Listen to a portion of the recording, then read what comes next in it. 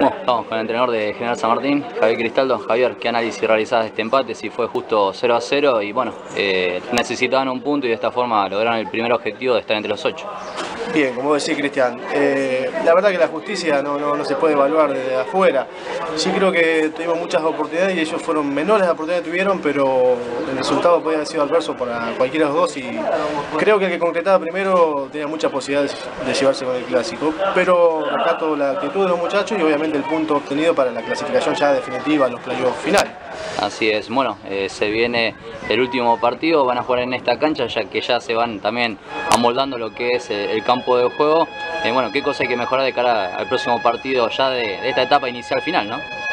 Lo que siempre insisto, los muchachos se trabaja, que bueno, que todavía no se logra de corregir en algunas situaciones, son los detalles mínimos, lo cual te permite eh, ganar o perder un partido. Yo creo que tenemos que corregir individualmente algunas cuestiones y lo colectivo, la idea ya está, el muchacho tiene asimilada, a veces sale con más claridad, otras no, pero bueno, eh, individualmente hay que corregir algunas cuestiones. Eh, Javier, ¿qué te pareció este clásico? Lamentable que se juegue sin público, ¿no?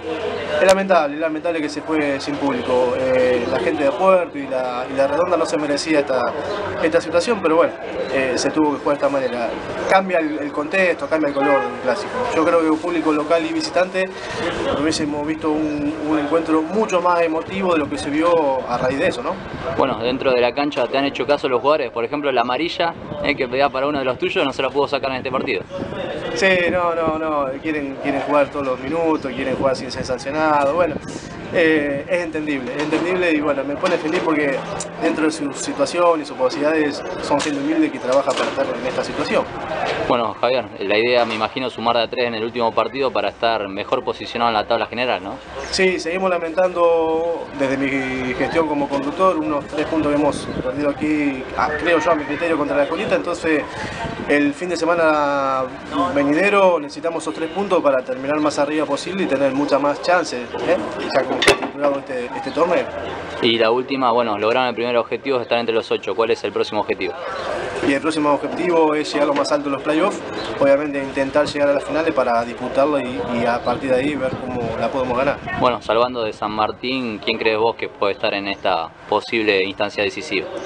Yo he visto algunos equipos, no todos en totalidad. Beltrán por la cantidad de puntos que tiene, estimo, inclusive ha ganado ayer por eh, 4-1, perdón, estimo que es uno de los candidatos y que más fuerte está, ¿no es cierto?